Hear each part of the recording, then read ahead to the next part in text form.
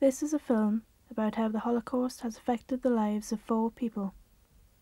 Most textbooks just deal with facts and show pictures of Hitler and the death camps. But we wanted to make a film with individuals which showed their feelings and that they had families who were destroyed. The four survivors you will meet are Esther, Harry, Liesl, and Werner. The other people in the film are 12 students from various schools on Tyneside. They got together a few times before meeting the survivors, but none of the questions were planned in advance.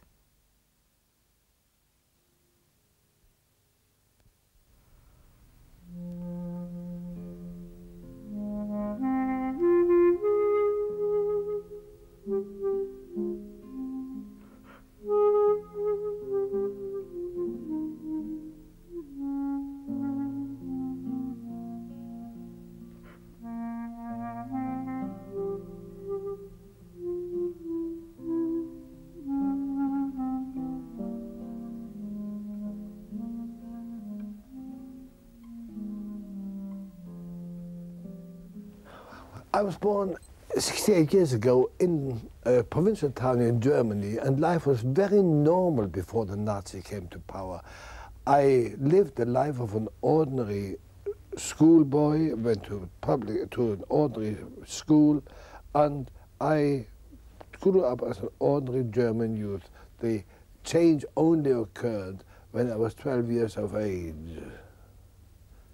Now, on in the year 1933, I found suddenly that my people and I were turned into vermin. From there onwards, after the Nazi came to power, our life went sharply downhill from economic uh, oppression to humiliation. I was chased out of school when I was 14 years of age, and I went into a Jewish college. Just before my 16th birthday, our school was ransacked, destroyed in the so-called Kristallnacht, and I found myself in a concentration camp called Dachau. That was hell, but I survived, and it induced me to seek refuge in England. I came here 50 years ago and I have had 50 years to think through the events of those days. You know, how did you feel when uh, the Nazis actually were in power? Scared, worried, disturbed, because I couldn't understand what crime I had committed. I was a traitor, a polluter, what have you. I felt outraged above all and frightened because there was nothing I could do to, to resist. Did your family become more united, more close?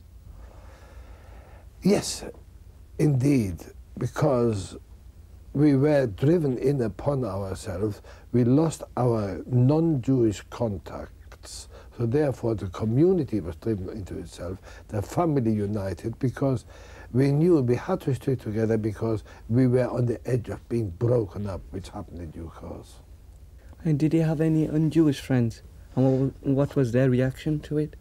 Well, obviously we had Jewish friends. We had no others because non-Jewish Aryan boys and girls would not couldn't afford the luxury of being called Jew lovers. So our company became more and more Jewish, and we all felt the same above all, we all were worried about one thing where shall we go?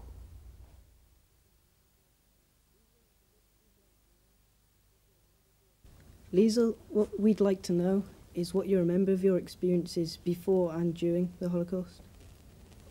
I was born in, in Czechoslovakia uh, in a family. I was, I was very well looked after and loved, and I had a brother, and um, life was good. And then um, the part where I lived was the Sudetenland, so that's the part the Germans occupied first, and we fled inland to, to Prague. And then the Germans occupied the whole of my country. And at that time, everyone was busy, all the Jewish people there were busy trying to get visas to get out. But my parents weren't able to do that. But there was a scheme available to allow children out under the age of 16. So I, I was able to get out in the last train that left Prague before the beginning of the war. Not my brother, he was too old. He was over 16. So I came to England, and my parents said, See you soon. Um, and the bit in England, the, the bit during the war wasn't too bad. It, it, it was like being homesick and just marking time and waiting for the war to be over and go home again. And the real horror was when the war was over and I discovered that everybody I grew up with was dead. I did find my mother, and I'm saying I did find my mother because she was very changed. She wasn't the mother I had left. Um, and also, I remember our first meeting where she, who had lost her husband and her son and her parents and all her peers, was saying to me, You're the only one left to me to make life okay for me. And that was a colossal burden I couldn't manage. I wasn't aware of it at the time, but I knew I was, it's something I could never do. So our relationship was very different uh, when we met again. I left age 12 and we met again when I was 19. Well, I was born in Poland, in Łódź, which was the second largest city in Poland, and a third of the total population was Jewish. So I grew up with a strong awareness of being Jewish. Um, very much aware, though, of the hostile environment because uh, I don't generalize, but one felt Poles were very anti Semitic. But I had a very happy home life, and if you're a child and you're loved by your parents, you feel very secure.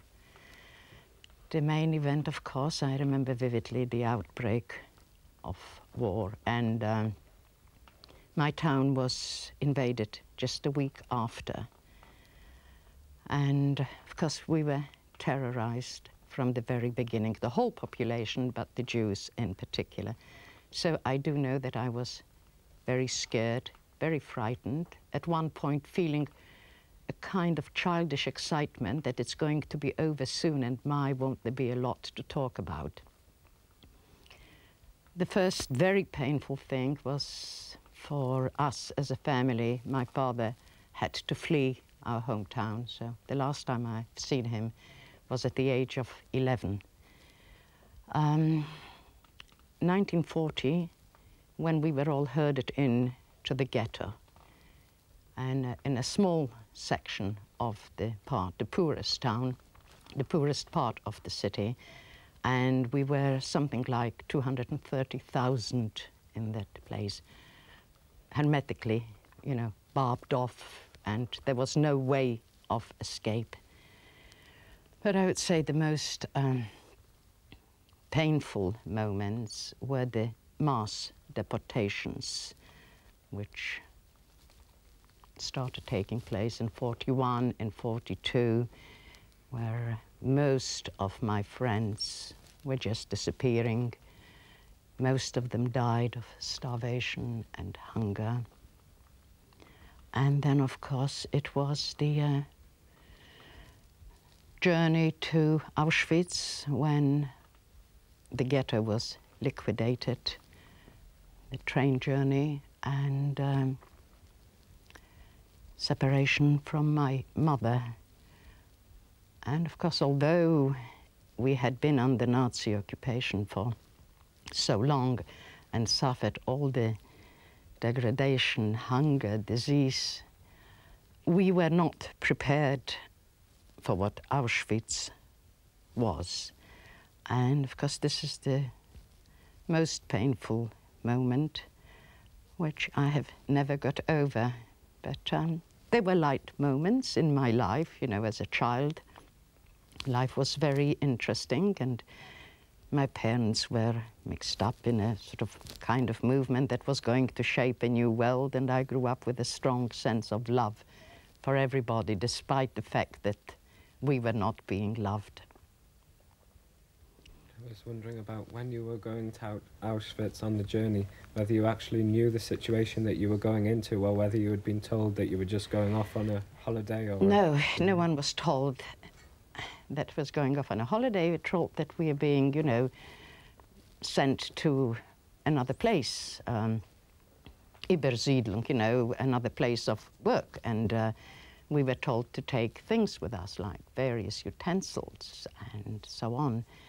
So, no, we were not aware, but uh, we didn't expect anything good because all the people who have been deported before were never heard of again dreadful things were happening in the Lodz ghetto after 1942 when clothing started arriving back into the Lodz ghetto, marked, you know, names and people who worked in various factories like making um, carpets for the Germans from old rags, found their relatives' clothing. So that left you wondering what could have actually been happening. So no, we didn't expect anything good, but certainly didn't expect what was coming, not at all. And uh, when we did arrive, the people who worked there at the railways, they said, you know, form and fives to me, they said, say you're older. And we said, where are we? Where are we? Where are we? You mean you don't know what this is? Said, no, we don't. And um, I had seen the barbed wire and I had seen people that just looked very deranged and we thought, well, that's not for us because that looks like some kind of lunatic asylum, so that's not for us. Um, and then I, I just, from a distance, saw someone go towards the wire and fall. And I was told, well, you know, she's touched the electrified wire. She, she's dead now. It still did not somehow sink in. They even gave us on arrival um, a tin of something, you know, to eat while we were actually being pushed towards selection. So everything was uh, done in such a way that you, you couldn't think at all. You couldn't think at all. You were just pushed that was the reality. So never, um, I know now that one could possibly never imagine it not having it experienced. My name is Chaim Nagelsztajn. I was lived in a town called Hrubieszów in Poland. And uh, when the Germans come in, like the, in our town, they stopped us going to going to school and, and different things. And I lived, lived there quite happily for about, when they come about two years. Then after about two years, they started to dep- getting deportation in groups of Jewish people. It's about 10 10,000 Jewish people lived in that town where we lived. And um, so they started deportation. We were about three, three group, three parts every every so often, every two or three weeks. And then uh, and we were the last ones, like.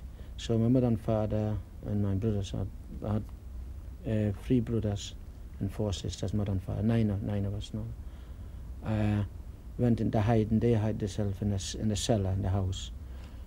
So my sister and I and a boyfriend, we didn't want to go down the cellar, so somebody had to be upstairs in any case to cover the the uh, the lid of the, over the what was in the, in the cellar and we put the lid down and put a bed over it so nobody could see where this actually this entrance to the cellar is. So and then we run away to a farmer and we hid ourselves in the in a haystack.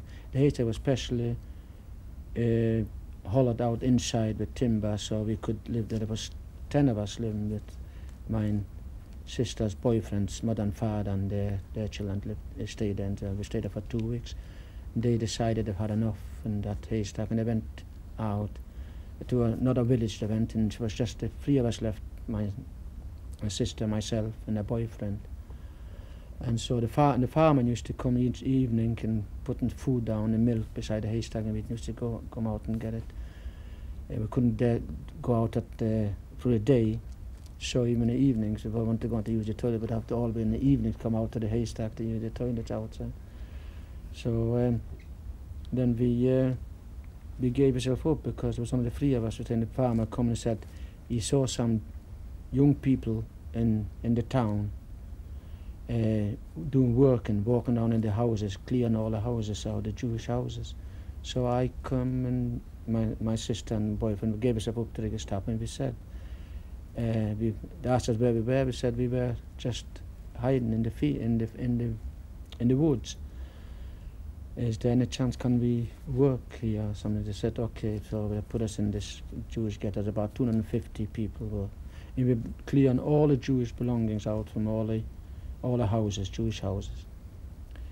And uh, that was about after about three months. And then after three months, the Gestapo surrounded over that little ghetto with about 250 people, and they took half of us away. My sister was in the other half still staying, and I was taken away to a, a place, uh, concentration called uh, Majdanek. That was my first concentration camp, Majdanek. And after about four or five weeks there, uh, the, the SS were coming around and asking if anybody's uh, builders or joiners. They need uh, about 80 people to go out to work somewhere. So my father in Poland was a builder. And I was only young, because when I went into concentration, I gave me three years, three years older. I was actually 14, but I gave him three years. So when, if you're a bit older, they put you to work. Isn't? So, uh, and uh, so I put my hand up saying that I'm a Mauro, my father was a builder and all this sort of thing. And they said, oh yes, and said, so much, how much bricks can they this and all that? So, so he said, oh, you are, you are a builder, so right, you go on here. And we went out and we worked in a place called Zamość. We built a factory, or pickled factory, pickled onions, cucumbers, cabbage, all this sort of thing. We built this factory. And um, uh, from, uh, so about we were there about six or seven months, and then the, after the fa- when the, once the factory was finished, well, Majdanek concentration camps was liquidated. They, they killed everybody in that camp. They burned and gassed the whole camp. They didn't bring any more uh, prisoners to that camp. They just liquidated the whole concentration camp. So we were, we belonged to Majdanek because we were just hired out to this uh, working camp so there was an order come to the town where we were working that they've got to finish us, not to bring us back to Majdanek because there's no more Majdanek, so they've got to kill us, the 80 people, the 80 workers. So there was one Gestapo, they said, such a good workers, they're going to kill, they had good, they built this factory, wonderful job they made. So there was a place out not far from where we built an airfield, and there was about 1,200 uh, Jewish people working there. So that we didn't know where we were going. We got two, two and two trucks, put us in the two trucks, went down to this airfield, and they exchanged for 80 people from there. They let us go to work in that airfield, and they took 80 people away to a Jewish cemetery, and they shot them. And then they could turn around and say to Majdanek, where the concentration camp, was, that they killed us. When Hitler came to power in 1933, what were your immediate reactions to it? Well, remember, I was uh, 12 years of age, so my immediate reactions were a bit, little bit immature. But let me say this my father thought it was a very good show because Hitler, after all, was a empty-brained, loud, loud-mouthed demagogue, and it was about time for Hitler to be given the responsibility so that he would be shown up to be what he was, that he could not solve Germany's problems. But then my father was not a political either.